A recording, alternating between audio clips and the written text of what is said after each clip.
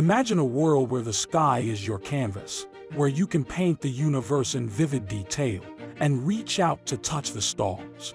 Welcome to the realm of telescopes, the magic wands of stargazers. In this cosmic journey, we will uncover the enchanting science of these optical marvels that have been our windows to the cosmos for centuries. But why do we even need telescopes? To answer that, let's first understand the limitations of our naked eyes. Imagine standing in a vast landscape with a distant mountain in your line of sight. As you gaze toward the horizon, you notice that the mountain appears smaller, almost blending into the background. This phenomenon occurs because of the way our eyes perceive distant objects. The farther away an object is, the smaller it appears, and the less light it emits. Eventually, it reaches a point where it becomes challenging for our eyes to discern any details. So, what's the solution? We need to gather as much light as possible. The first step in this magical process is the use of lenses, curved pieces of glass that refract or bend light. Picture a beam of sunlight passing through a magnifying glass, converging into a tiny, intense point. This focusing of light is a fundamental concept behind the workings of telescopes. Now, imagine the revolutionary moment when the first telescope was conceived in 1608. A Dutch spectacle maker named Hans Lippershey designed a device that used lenses, curved pieces of glass, to gather and bend light. Picture the very first telescope that had only two lenses aligned, capable of magnifying objects up to three times. As light rays enter the objective lens, they refract and converge. The objective lens has a bulging, convex shape, which bends the light rays toward each other. This bending of light converges the rays, causing them to meet at a specific focal point inside the telescope. However, there's a curious twist in this process. The image formed at this stage appears upside down. It may seem peculiar, but in the context of space, where there's no inherent up or down, this inversion doesn't pose any problems. It's all part of the magic of telescopes. But there's a catch. Now, imagine a gigantic lens, much larger and thicker than a standard magnifying glass. While such a lens has the potential to gather even more light, it comes with its own set of challenges. The sheer size and weight of the lens can make it unwieldy and difficult to work with. Ensuring that the surface of the lens is perfectly smooth becomes a daunting task. Any imperfections or irregularities on the lens can distort the image, much like looking at your reflection in a window with smudges or scratches. For stargazers seeking clarity and precision, these imperfections are a significant roadblock. This is where mirrors come into play, and it's a game changer. Mirrors can be much thinner, and you don't need them to be thicker as they get larger. They reflect light, rather than refract it. Unlike lenses, mirrors can be both large and thin.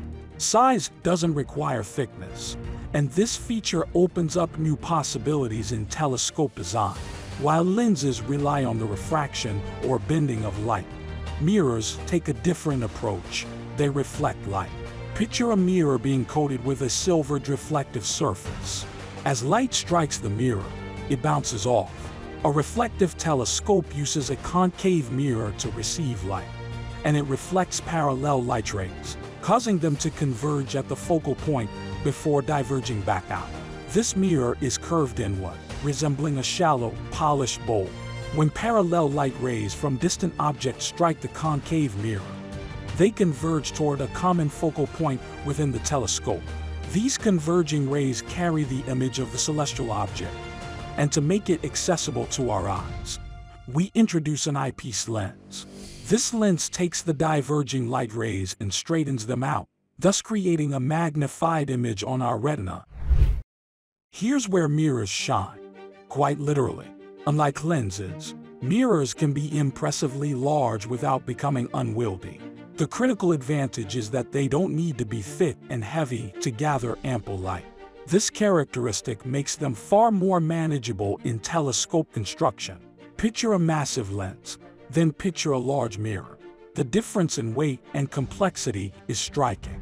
A massive lens, while capable of gathering light, can be burdensome and challenging to support in a telescope structure.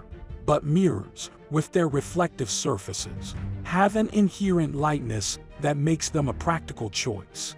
Additionally, mirrors don't suffer from the same challenges of lost light through reflections that plague large lenses. When you clean a mirror, it's a straightforward process, wiping away impurities to maintain its reflective efficiency. But there's a challenge right here on Earth.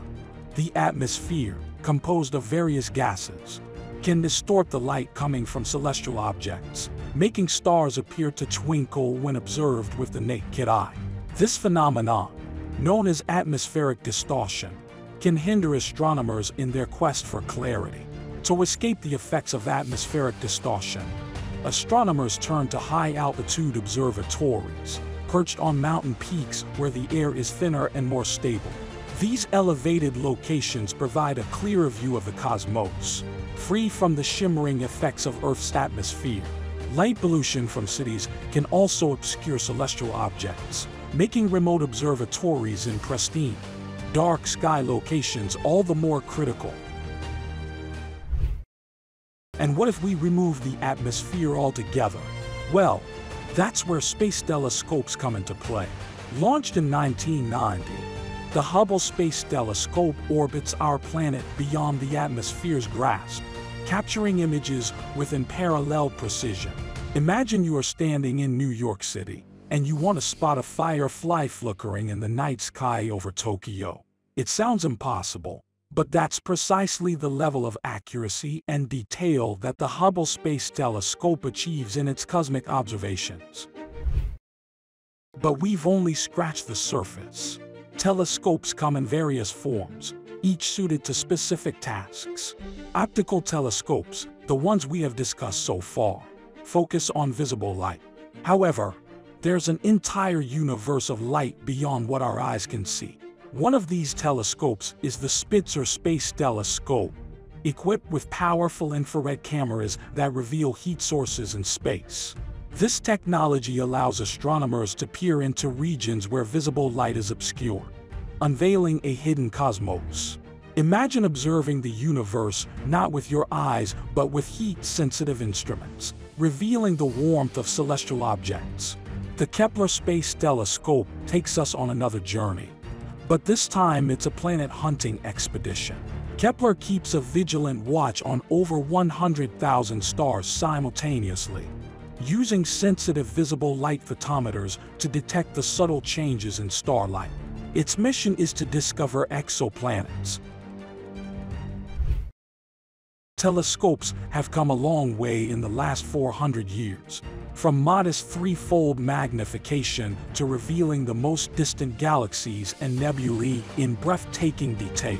As we look forward to the next 400 years of stargazing, the cosmos beckons us to explore its mysteries. The future holds even more promise. We can only imagine what's next. Perhaps the unimaginably vast telescope or the fantastically accurate reflector telescope which we will leave you to decipher. Stay curious, space explorers. The universe has countless secrets waiting to be uncovered. Until next time, this is Mars 666, your guide to the cosmos, signing off.